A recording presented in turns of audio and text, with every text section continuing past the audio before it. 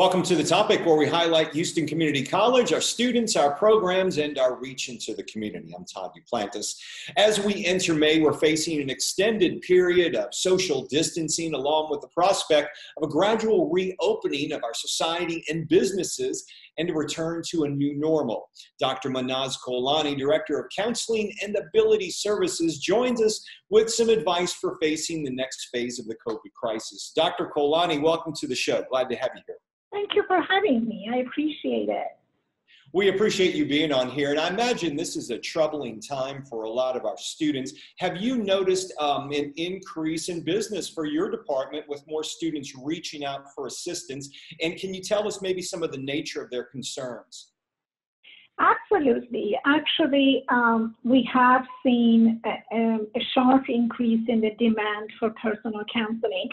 We briefly talked about the survey, the basic needs survey that we have posted on HCC Care's uh, webpage. And uh, one of the questions on that survey is inquiring um, source of distress for students during COVID-19. And of course, um, a large number of our students identified financial stress as a major sort of a factor in, in uh, that is problematic in their lives right now. And the second one was mental health related issues. Um, almost 30% of students who completed the survey um, indicated that they are struggling with depression and anxiety. And uh, um, they do mention that it's uh, directly related to the COVID-19. So we do see an increase in demand for mental health services. And, and it really is an opportunity for us to pay attention to the sense of wellness and the fact that mental health is, is uh, general health and is the major part of um, sort of that culture of care and cultural wellness that we uh, so much cultivate at HCC. Um, so students talk about feeling um, a lot of anxiety related to um, different sort of uh, circumstances, whether it's their academic uh, life, whether it's occupational, financial, their interpersonal relationships. So this anxiety seems to be over, overwhelming for a lot of our students. And we're glad to be there to help the students. We do provide sort of brief, um, time limited uh, solution focused counseling services that it happens in the context of here and now, helping students to develop coping skills to, to deal with the anxiety and the distress that are experiencing right now. Well, you know, anxiety is something that really hits all of us, but I imagine students are in a special position. They didn't ask for us, as none of us did. Um, we went away on spring break. It was uncertain. Then everything started closing down. Mm-hmm. And now we're uh, five weeks since spring break has elapsed. And it, it's, it's a new world we're living in. And a lot of students are facing maybe unemployment because maybe they've been laid off and then trying to bring money in. Are they getting stimulus money? Are they getting uh, money from the college? How are they going to make it through? And oh, by the way, you got your courses you're responsible for online. Those uh, those situations seems like they can be unbearable for anyone, much less somebody mm-hmm. who's trying to get to college. Absolutely. And a, sort of a core component of anxiety is the fear, the fear of unknown. Um, sometimes anxiety, most often, anxiety can be um, sort of something depending on the way we think or black and white all or nothing kind of thinking. But uh, in this case, um, a lot of it is fact based. We know that um, people have are experiencing a lot of anxiety because of those stressors that you mentioned. If you worry about your job, you're bound to feel anxious. This is not something that you know it's just let's say just in your head that you can kind of change. There's a lot of uncertainty, and that uncertainty is definitely anxiety provoking and it's enough to make anybody feel like um, you know their whole life is in sort of like limbo and they don't know how to deal with it having said that, however, we know that there are some strategies that uh, we can use in order to reduce that anxiety. Um, first and foremost, obviously, we've tried to uh, put in measures in place to assist the students, to create, um, to bring some sort of relief into their lives in terms of the financial stresses, access to technology, and all that, which I'm sure the other guests that you've done talked about those elements, but also just sort of um, providing personal counseling in terms of coming up with ways that allow a person to address the anxiety and get some relief from the anxiety. Because after all, anxiety is a treatable condition. Um, sometimes, you know, some levels of anxiety is, is adaptive, is useful. It helps us kind of, it motivates us. And then sometimes they really kind of lead to um, spinning our wheels and not knowing what to do. Um, but there are strategies that we help students with in terms of identifying ways of dealing with, with anxiety to reduce that anxiety and be able to get through the semester um, and, and sort of be able to finish successfully. Or some of our students, this was just not a good fit before, and that is okay as well, recognizing that maybe I cannot take an online class and I have to kind of uh, pause and think about it for the next semester. So, um, you know, they're different for different ways for different students, but overall, it's, it's getting to a place to know help is available. We can reach out and, and seek support and, and help. You know, there's been talk right now of reopening uh, society again, reopening businesses. And uh, right now we're under a stay at home order, which is in effect mm-hmm. in Harris County, but the state has reopened in some parts. On when we do reopen, am I going to go back and function in society? Am I, what happens if I don't feel safe mm-hmm. to go to a campus or to go to my job? How do I deal with those things? What do you, uh, what advice do you have for someone who's facing those prospects to keep them and their family safe? Charles, you definitely are raising a very good point. Um, you know, people, we see that people already feeling that, you know, that cabin fever and, and that feeling of being cooped up. And at the same time, it's the fear of, you know, what's going to happen. Again, the fear of unknown. I think we can take a look at it from sort of a group perspective as well as the individual perspective. When it comes to the group perspective, it really depends. We really focus on the way that the institution handled COVID 19 and responded to COVID 19 which was in a very thoughtful manner, and it was uh, the responses were um, effective. They are um, in a timely manner. They were delivered in a timely manner to uh, to reduce the risk of infection. And I think knowing that, knowing that that trust has already been established, that we are in good hands um, can be helpful in terms of knowing that whenever that decision is going to be made, it's not going to be taken lightly. That the decision to go back would be made based on, you know, best medical advice and all the state and and uh, city guidelines, um, and that helps us in terms of well, it's just not going to be something that is just taken haphazardly. So I think that's helpful, and also on an individual level, each one of us needs to um, sort of take responsibility about our own personal health. Um, we realize that there could be a lot of students who never used ADA accommodations for their classrooms. Maybe they didn't need to, and and we expect that we will have a wave of students who need those services um, if we go back and when we go back to campuses. Um, there could be conditions directly related to the COVID-19 or conditions that uh, are related to uh, health conditions that some of our students might have. Let's say, obviously, if you have, for instance, an autoimmune illness or some kind of health problems, then you may have some reservations at this point, and you are you may qualify to get protection under the ADA law. So we do encourage students um, to um, reach out, reach out to the counseling office if they have concerns about going back to the campus and explore their options. And obviously, I'm sure your experts from the talent engagement will also discuss that in terms of when the faculty and staff are ready to go back, some of the you know, measures in place for them to reach out for additional support and services that they may need. Um, so it's important to kind of look at it collectively and think about our options.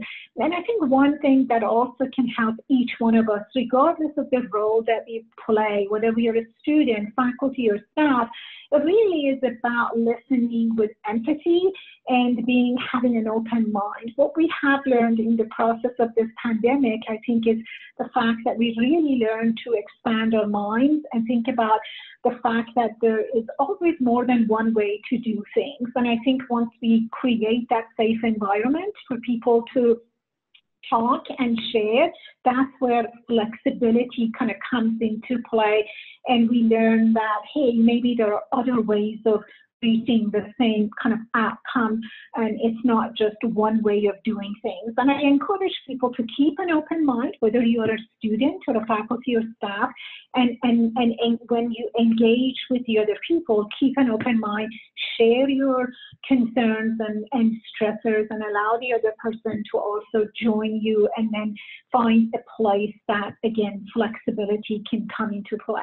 We're talking with Dr. Mahnaz Kolaini, the Director of Counseling and Ability Services here for Houston Community College. Dr. Kolaini, stick around. We're going to take a quick break. When we come back, I want to hear how where folks can go reach out to your services. We'll talk about that. We'll give a website, maybe a phone number. But I also want to talk about relationships because we're all stuck at home, maybe with a significant other, maybe with a partner, maybe with a, uh, a roommate or our family their relationships, we all want them, we all have them. What do we do with them now? Because we're all stuck at home. We'll talk about that when we return on the topic. Thanks for being with us. We'll be back after this.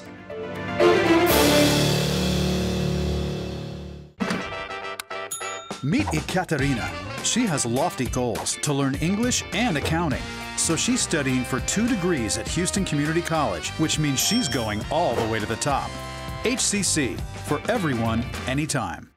I've seen people's lives change just by attending a class at HCC. Some of them might not have the financial means to go to a four-year university. That doesn't make them any less quote-unquote smart than the kids who go to a four-year school.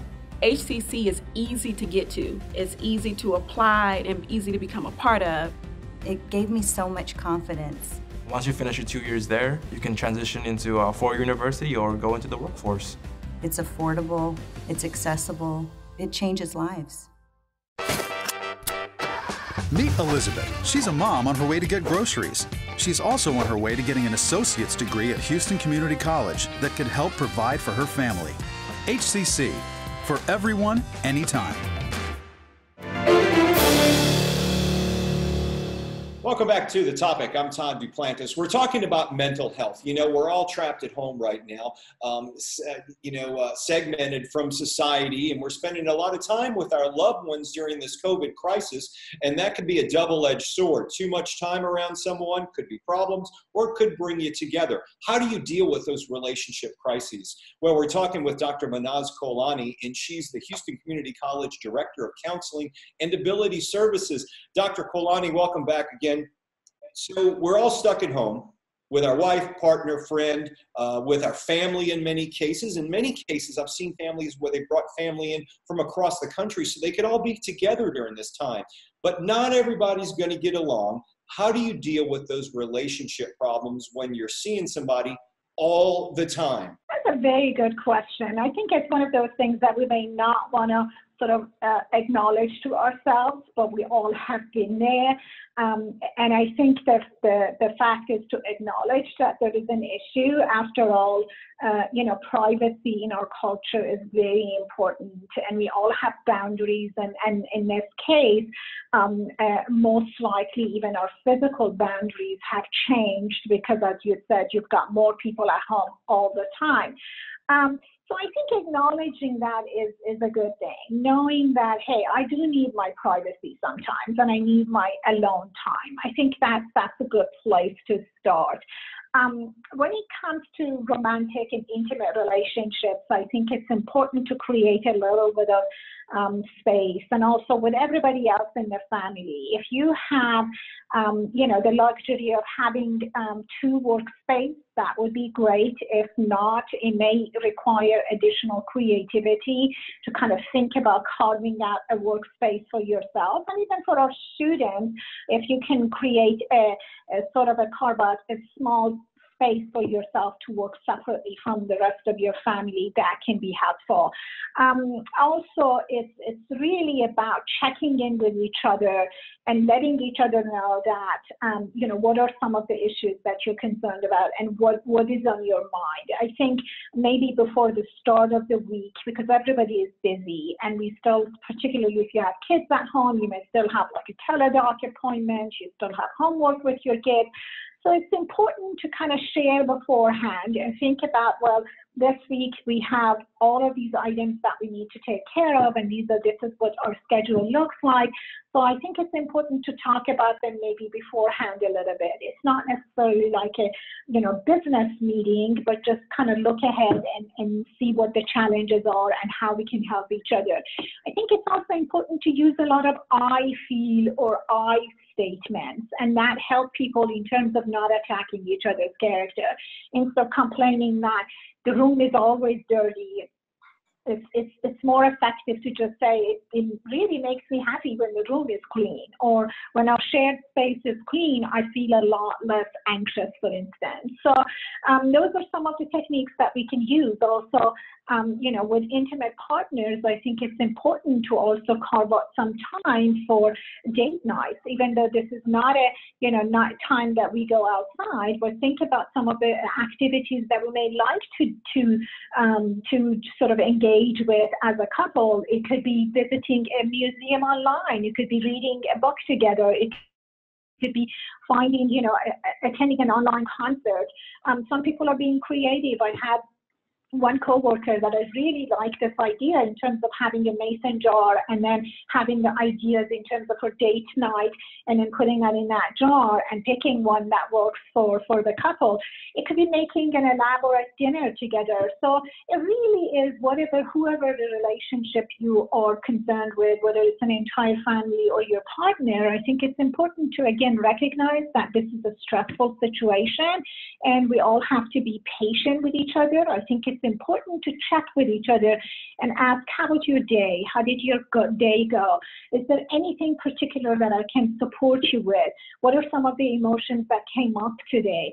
And make yourself available to provide support and listen. It's not necessarily about fixing things. I think a lot of us get into that fixing mode immediately.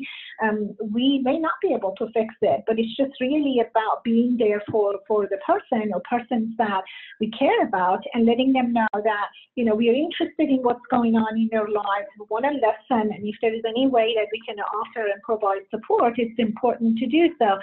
And ultimately, if we get engaged in a conversation that is stressful and is not really being resolved, I think it's important to um, listen to our bodies. If you start having a conversation, an argument, and your heartbeat, you know, gets faster at that point, you're not really being productive in terms of being able to have a sound and, and, and intelligent conversation. And you really are in a sort of fight or flight mode. And maybe that's the time that we need to disengage and we need to end that conversation, give ourselves a little bit of space, um, get out of you know each other's visual and auditory field, and and kind of wait to come back to it when we are calmer.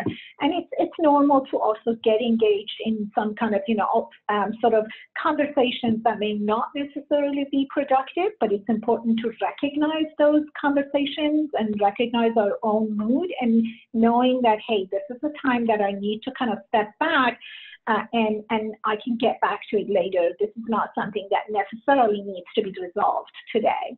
So, Dr. Kolaini, another thing that's kind of troubling right now is uh, we're seeing a rise in uh, domestic crimes that are happening. And a lot of people may be finding they're not in the right place, but we're in a time of quarantine. What do you suggest for relationships like that when you don't really see people face to face and you're in a situation that isn't good for you or the other person? That's a bit, and I'm so glad you asked this question. Um, we know that globally there has been unfortunately spike in uh, incidents of domestic violence, um, and uh, it seems that often if you have a history of those, um, you know, incidents in your life, um, then they, they tend to uh, sort of repeat themselves when there is so much stress going on. Um, one thing um, that we did with the counseling office, we reached out to um, the Harris County um, uh, Domestic Violence Prevention Coordinating Board, and we asked them to do a presentation for us. Um, incidentally, April was the um, Domestic Violence and Sexual Assault Prevention Month, so we did put the um, uh, presentation on our website, on our counseling page for, for folks to get some information and get some resources. But we've had incidents of students calling us and letting us know that they need a safe place to go. Um, the shelters are still available. Um, so if the student needs, they, they do um, practice social distancing. We uh, are available to help. So um, Houston Area Women's Center obviously is a fantastic, incredible resource in Houston. Um, but I would say if you're if you are um, involved in an abusive relationship and if there is an incident that you need to seek safety, um, your first obviously point of um, your first action should be in that time to reach out for help. Um, it's, it, it, you know, calling a 911 or if you're on, um, available that you can contact a counselor. Uh, obviously, that's one thing that you can do during business hours and contact a counselor in terms of getting information um, in, in terms of resources and community um, shelters and places that you can go to to seek safety. So domestic violence does not stop because there is a pandemic. So all of that information in terms of the resources, domestic hotline, and other um, related resources and information are on our website. And I do encourage, uh, you know, anybody who's exposed to domestic violence um, to check those resources and have the information available so they can reach out as soon as they need help. And you bring up a good point. Just because we're, we're in quarantine doesn't mean you should be in an unsafe situation. And if you're in any danger, uh, get out of the quarantine and get to safety. Uh, reach out for help during these times. Because uh, a lot of a lot of people are in need of that. Dr. Kolaini, thank you for being here. If uh, you could real briefly tell us where our students can find you on the website. Is there a phone number they can call? Um, um, I am going to give you my direct phone number, which is 713-718-7449. Um, but the best place to locate a counseling is just going to HCC website and look for counseling. So once you look for counseling services, you get um, multiple pages of information, including all the resources that we have, internal and external resources, as well as the names and contact information for the counselors um, across HCC.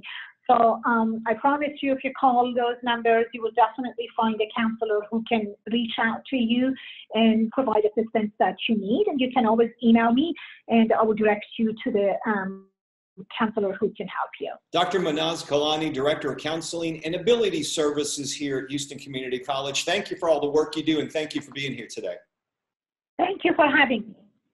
And thank you for joining us. Uh, if you're watching us on HCC TV, make sure you subscribe to our YouTube channel, like us on Facebook and across social media. You can download all of our podcasts at hccs.edu slash podcasts. For the topic on HCC TV, I'm Todd Duplantis.